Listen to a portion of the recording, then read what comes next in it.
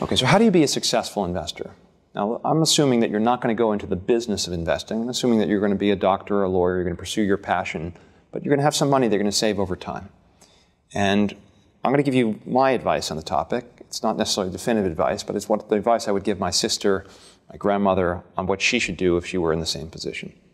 I think that's probably the right way to think about it. So, number one, how do you avoid losing money? What are good places to invest? Well, my first piece of advice is despite the story about the lemonade stand, I'd avoid investing in lemonade stands. I'd avoid investing in startup businesses um, where the prospects are not very well known. Because again, you don't need to make 100% a year to have a fortune. You just need to invest at an attractive return, 10, 15% over a long period of time, your money grows very significantly. So how do you avoid the riskiest investments? Would, my advice would be to invest in public securities, invest in listed companies, companies that trade on the stock market. Why? Because those businesses are tend to be more established. They have to meet certain hurdles before they go public. The stocks are liquid, so you can change your mind if you want to sell. If you invest in a private lemonade stand, it's hard to find someone to take you out of that investment uh, unless that business becomes fabulously profitable. So that's a piece of advice number one. Invest in public companies. Number two, you want to invest in businesses that you can understand. What I mean by that is there are lots of businesses that you come in that you deal with in the course of your day and your personal life, whether it's a retail store that you know because you like shopping there, or it's a, a product, uh, your, your, your iPad, or that you know uh, you think is a great product. But you, you, under, you have to understand how the company makes money. If the business is just too complicated, you don't understand how they make money. Even if they've had a great track record, I would avoid it. a lot of people thought Enron was an incredible business because it appeared to have a good track record, but very few people understood how they made money. It was good to avoid it. Another very important criteria is you want to invest at a reasonable price. It could be a fabulous business that's done very well over a long period of time, but if you pay too much for it, you're not going to earn a very good return. The last bit is that you want to invest in a business that you could theoretically own forever. If the stock market were to close for 10 years, you wouldn't be unhappy. What do I mean by that? Now, again, if you're going to compound your money at, at a 10 or 15% return over a 43 year period of time, you really want a business that you can own forever. You don't want to constantly have to be shifting from one business to the next. And what are, what are businesses that you can own forever? Well, there are very few that sort of meet that standard. Uh, maybe a good example is Coca Cola, right? What's good about Coca Cola is it's relatively easy business to understand. You understand how Coke makes money, right? They sell a, a formula uh, or syrup uh, to bottlers and to retail establishments, and they make a profit every time they serve a Coca-Cola. People are going to drink a lot of Coca-Cola for a very long period of time. The world's population is growing. They sell in almost every country in the world. And each year, people drink a little bit more Coca-Cola. So it's a pretty easy business to understand. And it's also a business that I think is unlikely to be uh, competed away uh, as a result of technology or some other new product. Right? It's been around long enough. People have grown used to the taste. Um, you know, they, they, uh, parents give it to their children, and you can expect that it'll be around a long period of time. I think that's one good example. Another good example might be McDonald's. You may not love McDonald's hamburgers, but it's a business that's been around for 50 years. You understand how they make money. They open up these little, build these little boxes. They rent them to the franchisees. They charge them royalties in exchange for the name, and they sell hamburgers and French fries. And you know what? People have to eat. It's relatively low cost food. The quality is pretty good, and they continue to grow every year. So I think the consistent message here is try to find a business that you can understand, uh, that's not particularly complicated, that has a successful long-term track record, that makes a, a, an attractive profit, uh, and can grow over time. So what are the key things to look for in a business, as I say, that lasts forever? We want a business that sells a product or a service that people need and that is somewhat unique and uh, they, they have a, a, loyalty to this particular brand or, or, or, product, and that people are willing to pay a premium for that. I mean, a good, another good example might be a candy business. While people are willing to buy generic versions of many kind of food products, you know, flour sugar, they don't need to have the branded product. When it comes to candy, people don't tend to like the Walmart version or the Kmart version. They want the, you know, the Hershey chocolate bar or the Cadbury chocolate bar or the See's candy. They want the, the brand, and they're willing to pay a premium for that.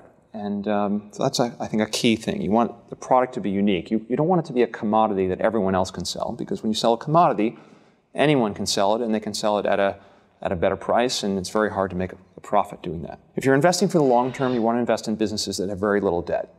In our little example before, we talked about our lemonade stand.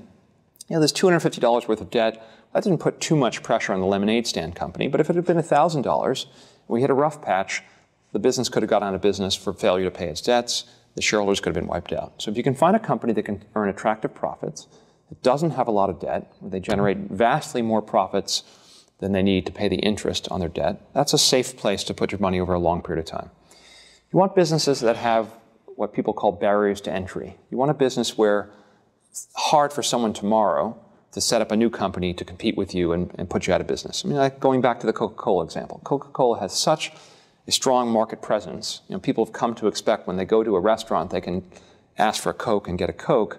It's very hard for someone else to break in. Of course, there's Pepsi and there are other soda brands, but Pepsi's been around a long time. Coca-Cola and Pepsi have continued to uh, exist side by side over long periods of time. So when you're thinking about choosing a company, make sure that they sell a product or a service that's it's hard for someone else to make a better one that you'll switch to tomorrow.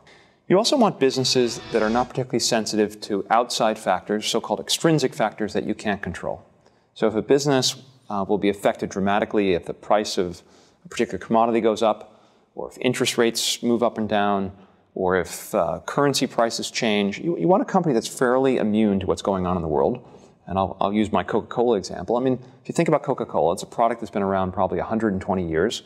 Over that period of time, there have been multiple world wars, development of nuclear weapons, all kinds of unfortunate events and tragedies, and so on and so forth. But each year, the company pretty much makes a little bit more money than they made before, and, they, they're going to be around. And you can be confident, based on the history, that this is a business that's going to be around almost regardless of whether interest rates are at 14%, whether the US dollar is uh, you know, not worth very much, or the price of gold is up or down. Those are the kind of companies you want to invest in the long term. Businesses that are extremely uh, immune to the events that are going on in the world. Another criteria, if you think back to our lemonade stand company, as we grew, we had to buy more and more lemonade stands. those lemonade stands only cost $300 each. But imagine a business where every time you grew, you had to build a new factory to produce more and more product. And those factories were really expensive. Well, that company might generate a lot of cash from the business, but in order to grow, you're going to have to just reinvest more and more cash into the business. The best businesses are the ones where it doesn't, they don't require a lot of capital to be reinvested in the company. They generate lots of cash that you can use to pay dividends to your shareholders, or you can invest in new high return, attractive projects. I guess the last point I would make is that you're invest in public companies it's probably safest to invest in businesses that are not controlled. A controlled company is kind of like our lemonade stand business that we took public. The problem with a controlled company, unless the controlling shareholder is someone you completely trust, unless there's someone that has a, a, a great track record for taking care of so-called minority investors, the non-controlling shareholders, it can be a risky proposition to invest in that business because you're at the whim of the controlling shareholder. And even if the controlling shareholder today is someone that you feel comfortable with, there's no assurance that in the future they might sell control to someone else who's not going to be as uh, supportive of the shareholders of the business. So it's not that you just you can simply have a profitable business and a business that uh, has has done well. You have to make sure that the management and the people that control the business think about you as an owner and are going to protect your interests. So these are some of the key criteria to think about.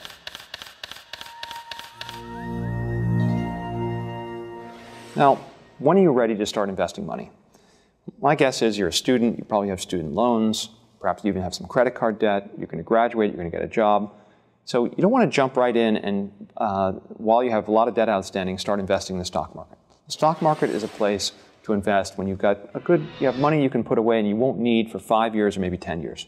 So if you're paying relatively high interest rates on your credit cards, you definitely want to pay off your credit cards first before you think about investing in the stock market. Your student loans are probably lower cost than your credit cards, but again, here, my best advice would be, you know, once you, if your student loans are costing you six or seven percent, well, if you pay them off, it's as if you earned a guaranteed six or seven percent return, uh, and you're just better off getting rid of your credit card debt and even your student loan debt before you commit a lot of a material amount of money to the uh, to the stock market.